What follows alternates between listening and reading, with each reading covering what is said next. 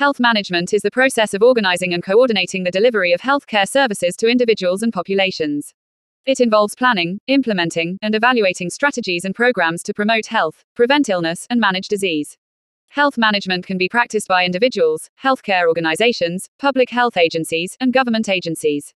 There are several key components to effective health management, including Health promotion and disease prevention. Health management focuses on promoting healthy behaviors and preventing diseases through education, screening, and early intervention. Quality improvement. Health management involves continually monitoring and evaluating the quality of healthcare services to ensure that they meet established standards and provide the best possible outcomes for patients.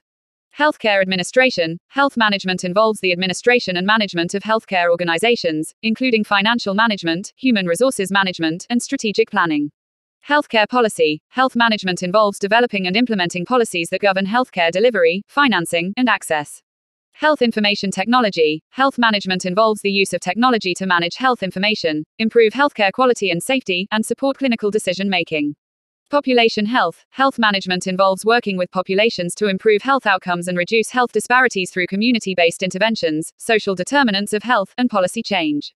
Overall, health management is a critical component of healthcare delivery that helps to ensure that individuals and populations receive high quality, cost effective healthcare services that meet the unique needs.